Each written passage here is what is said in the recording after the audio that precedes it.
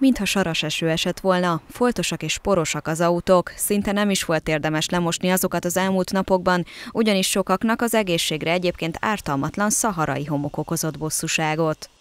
Tegnap reggel, amikor felkeltem, ugye akkor ugyanígy nézett ki az autó, gyorsan lemostam, már ilyen autóval nem közlekedünk, majd ebéd után lejöttem, azóta így néz ki az autóm, úgyhogy komoly. Csupa kosza a szélvédő, nehéz kilátni rajta. Letakarítottam, délután kettőre megint ugyanolyan lett, arról meg nem beszélünk, az ember belélegzi, a ruhája piszkos lesz, tehát mindenképpen bosszantó. Hogyha csapadék képződés zajlik ezekben a úgymond szennyezett rétegekben, akkor ez a csapadék, az eső vagy záporeső kimossa ezeket a részecskéket, és ezek megjelennek a növényeken, gépjárműveken, illetve akár az ablaküvegeken is, ezt ugye többen tapasztalták. A poros légtömeg több mint 3000 kilométerről érkezett hazánkba.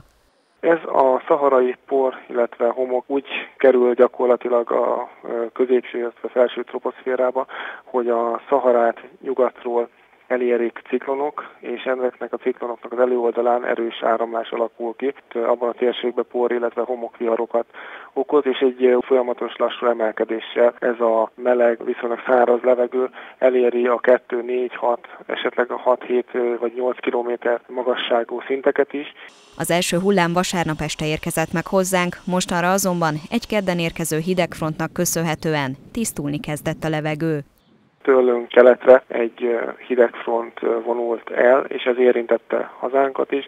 Tehát az eddigi déli, délnyugati áramlás, amely hozta ezt az afrikai port, illetve homokot a magasban, ez megfordult, most már északi, északkeleti az áramlás a magasban, és most már ezzel tiszta levegő érkezik fölénk. Tehát fokozatosan szorul ki a Kárpát-medence térségéből, illetve Közép-Európa térségéből is ez az afrikai por, illetve homok a középső, illetve felső toposzférából is.